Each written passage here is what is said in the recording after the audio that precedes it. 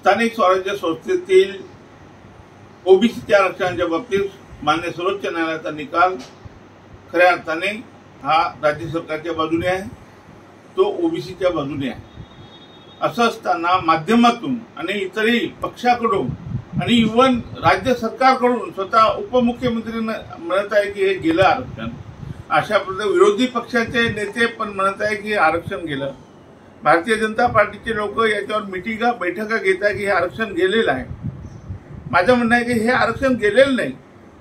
तर सर्वोच्च न्यायालयाचा निकाल हा आमच्या बाजूने आलेला आहे राज्य सरकारच्या बाजूने आलेला आहे.